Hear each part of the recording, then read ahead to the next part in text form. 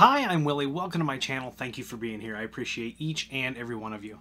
If you need IT consulting, go to williehowe.com, fill out the contact form, or click the Hire Us button. Send your information over, and someone will be in touch with you as soon as possible. You can also support the channel by using all of our clearly marked affiliate links below. All right, so what we're looking at in this video is TerraMaster.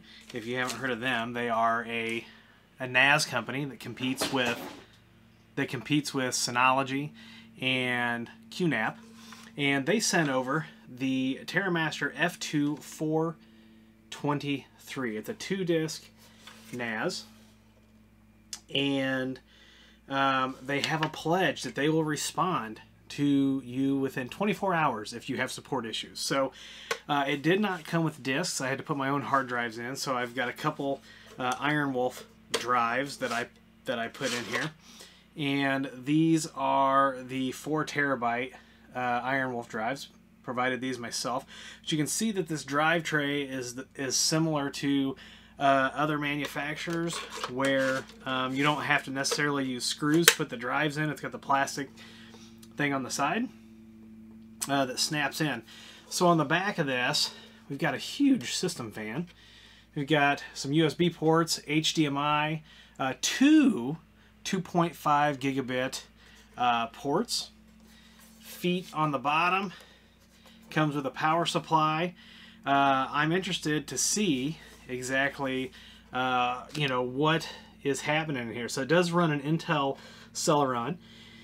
It uh, uses the x86 64-bit instruction set. Uh, comes with 4 gigs of RAM out of the box, upgradable to 32 gigs. Uh, does take all size of SATA hard drives and SSDs. Uh, single volume is 108 uh, terabytes, so um, there is a way to expand the storage capability. Um, what we're going to do is we're going to fire this up. I'm going to take it in, plug it in. I've never plugged this in before, so it'll be brand new, so we're going to set this up together. I know that's exciting, right? New products, and then I'm going to run it for a little while. And then uh, I saw somebody else actually install a different operating system on theirs. Maybe I'll do that. I'm going to do that with the QNAP that I've got. But let's uh, we'll fire it up and take a look at the operating system, do a quick cruise through it, and see what happens. We'll be right back. All right, so I've got everything plugged in, and I went and I found the IP address for the NAS and browsed to the IP. So here's what it looks like. Initialization. It's got your IP address. Only one LAN uh, port can be connected during initialization. Please keep it connected to the internet. Otherwise, you cannot install TOS online. So the uh, TerraMaster operating system, you can do an auto install or we can download it, manually install it. it tells us to make sure that our hard drives are compatible. And here's the big start button. So let's do it. And how do you want to initialize your TNAS? Uh, let's just do automatic. Data on the hard drives will be deleted. Confirm. Yep. So uh, hard drive checkup.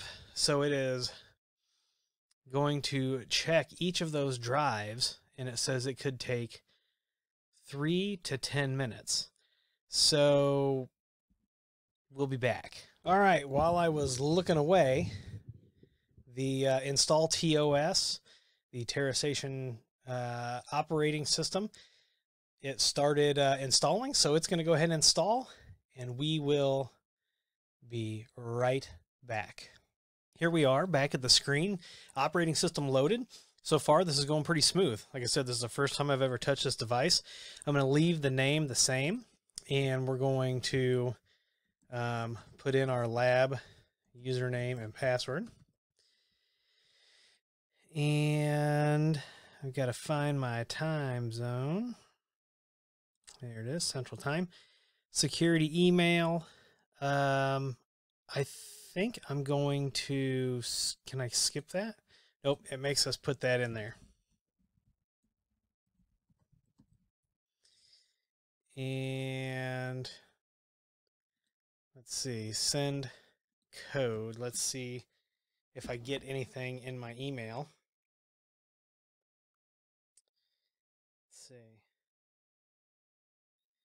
Nope, nothing in my email yet.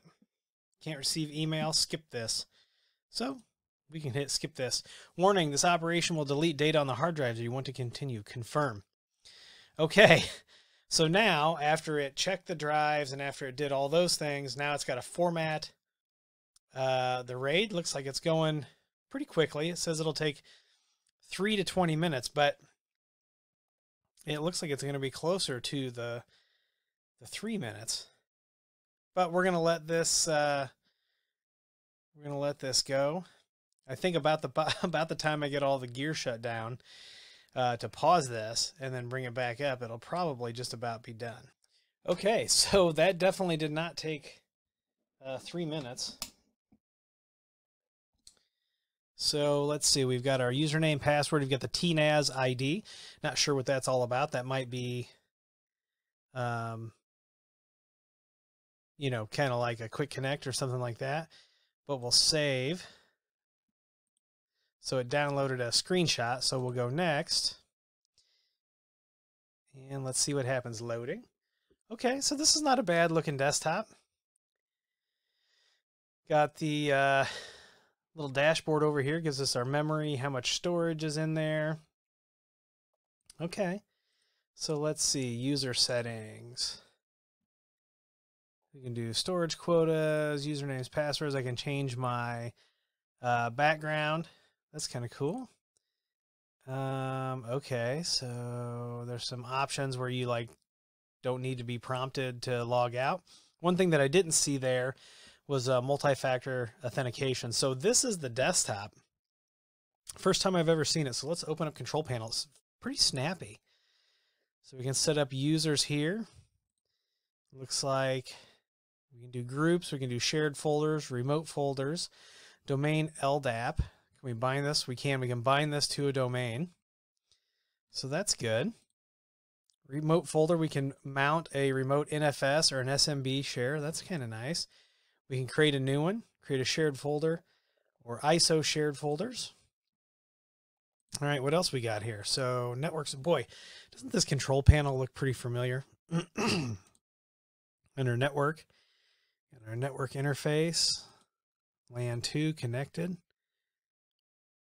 Now, I don't have this hooked into a 2.5 gig uh, port. If I did, you would see that. So general, here's where we can change the name. We can change the HTTP and HTTPS access ports. So I don't see an option to auto redirect to HTTPS, but that's okay. Here's all of our different file services. So it looks like they are uh, disabled by default, which would make sense. AFP seems to be enabled. FTP was enabled. So SMB was disabled. Everything else appears to be uh, enabled. Terminal and SNMP, discovery service. So it can do U, UPnP. Okay. Under volume. Okay, we can see that our our RAID 1 is synchronizing. So it's going to be slow, you know, until that's done. We've got our default storage pool. Can take a look at our hard drives here, and it knows that it is an IronWolf. Uh, virtual disk, we don't have any virtual disks yet. External storage, we don't have anything for USB, and we don't have a hot spare. Let's see, region and language, hardware and power. Working fan, smart fan, which obviously probably takes temperature into control. The buzzer will beep when the following situations occur. RAID hard drive is missing, the system boots, or the system shuts down. We should probably do hardware over temperature as well. We never want those hard drives to go to sleep uh, for what we're doing. Okay, so here is the notification setup. Man, this control panel is pretty similar. Here's uh, security, so we can do Let's see if we can add. So we can import a certificate or we can create a self-signed certificate. It doesn't look like there are any um, options here for like Let's Encrypt. Maybe that's coming in the future. But we are going to... It's got a firewall, which is blank by default account safety. So it can do auto blocking um, of IPs that, that fail to authenticate. Update and recovery. Okay, so I still haven't seen anything about uh, multi-factor authentication. I just may be missing that. So here's that uh, hardware information, four cores, four threads at two gigahertz each, four gigs of RAM, fan, fan speed is at 1046 RPMs. And we don't really have much going on here. Like I said, this thing is just out of the box. And let's take a look at like the applications that we can install. All right, so there's Alibaba, Amazon S3, AOMEI backupper, not sure what that is, Tomcat, A-Tutor, Backblaze, Box Sync, Coppermine, Clam AV, Docker, Duple, Backup Vault, Duple Backup. Interesting. So we're going to play with a lot of these. Emby, Elephant Drive, um, ICE HRM, DNS server, proxy server, iSCSI Target Pro, iSCSI Target, Java Virtual Machine, Lazy Librarian, Lime Survey, Mail Server. So I'm seeing, you know, there's a lot of open source stuff. There's a lot of familiar stuff. Uh, Orange HRM. And then I saw OwnCloud. Let's see, podcast generator, snapshots, transmission, USB copy, VirtualHere, VPN server. This is interesting. So it's PPTP, OpenVPN, L2TP IPsec. We'll install that real quick and take a look at this. While that's installing, we can go back. VTiger, CRM, WordPress, Yandex, VirtualBox. Okay, that's interesting centralized backup, and Portainer. If you've never used Portainer, people who uh, do containerized stuff, they love it. So we're going to have to take a lot closer look at some of these apps. If you are running one of these and you have these apps running, let me know down in the comments, would you? Let's take a look real quick. Settings, OpenVPN, we're going to enable it. 172.10 well, that's uh, unfortunate because 172.10 is an actual outside um, address uh, range that we shouldn't use internally. It's 172.16 to 172.31. And I mean, this looks exactly like our other um, our other NAS's VPN server. What do you think about this so far? Um, link list, permissions, admin, confirm. All right, so here's the backup app. So we can do an rsync or a time machine. I mean, I will give it this. The, the this is it's snappy. It's very snappy. So this is kind of a first look. I, am going to uh, play around with this, do some more videos on it, add it to the uh, group of NASs. What do you think? I think it's I think it's very snappy. I don't know whether to be impressed yet or not. They did send it over for me to take a look at, so that's what we're going to do. I'm going to you know run VPN on it. I'm going to run some of the other applications. What do you want to see me do? Put it down in the comments. And if you like this video, please give me a thumbs up.